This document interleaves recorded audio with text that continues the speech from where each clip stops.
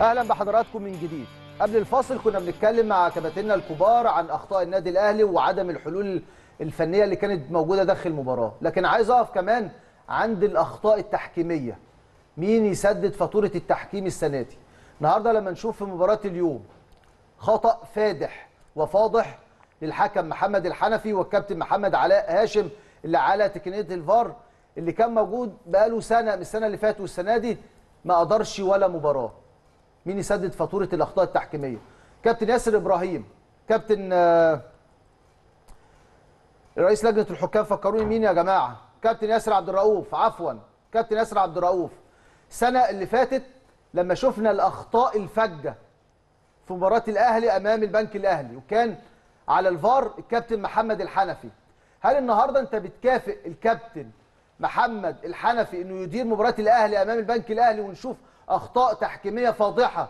مرة تانية السنة دي شفنا في ركلة جزاء ياسر إبراهيم. ركلة جزاء صحيحة. ويحرم النادي الأهلي من ركلة جزاء صحيحة. بنشوف الهدف اللي أحرزه رامي ربيعة. والكرة جت في إيد رامي ربيعة وتم استئناف اللعب وبقت في حوزة لاعب البنك الأهلي علشان يبدأ هجمة تروح لرضا سليم ويسجل منها النادي الأهلي. والفار يستدعي الكابتن محمد الحنفي بعد ما كانت لعبة جديدة. مش دي أخطاء صعبة وإحنا لسه بنبتدي بنبتدي الدوري المصري؟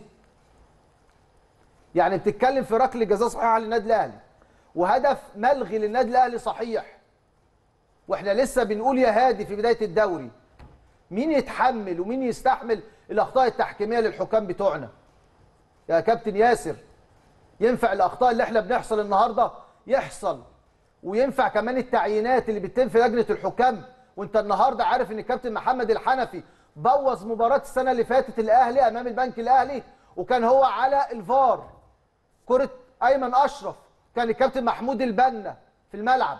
ما شافش الكرة واستنى الكابتن محمد الحنفي عشان يحسبها والنهارده الكابتن محمد الحنفي موجود كأنك بتكرم الكابتن محمد الحنفي في مباراة الأهلي أمام البنك الأهلي.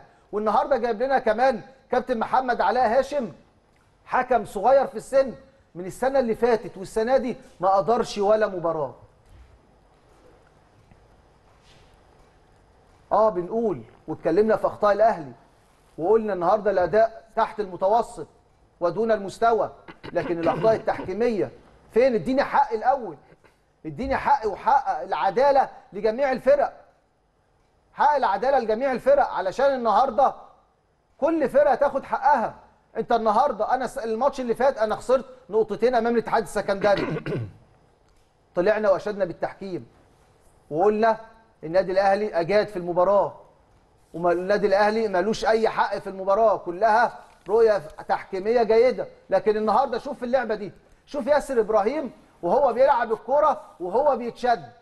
فين الكابتن محمد علاء هاشم؟ وفين حكم الفار النهارده من اللعبة دي؟ ليه ما وقفش عندها؟ كابتن محمد الحنفي واللعيبة بتروح له ياسر إبراهيم بيروح له بيستأنف اللعب بعدها بثواني.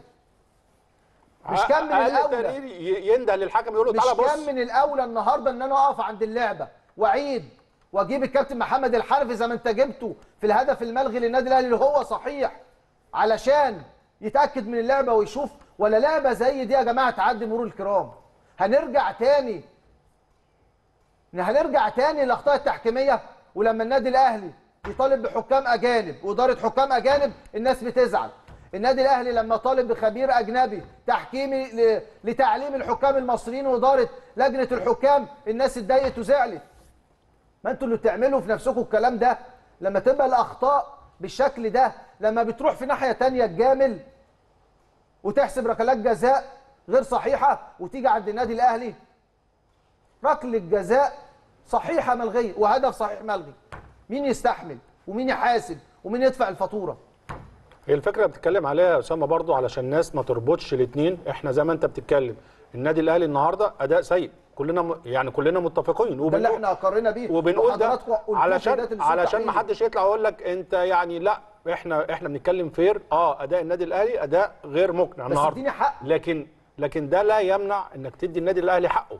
ما ده دي مش مرتبطة بدي أنت بت... أنت حكم المفروض على الأقل يعني زي ما أنت بتقول يروح يبص عليها أو حكم الفار يا كابتن محسن يقول له آه، تعالى في شك في في ضرب الجزاء. هو هيروح يشوف وبعدين هو ليه قرار الأول والأخير.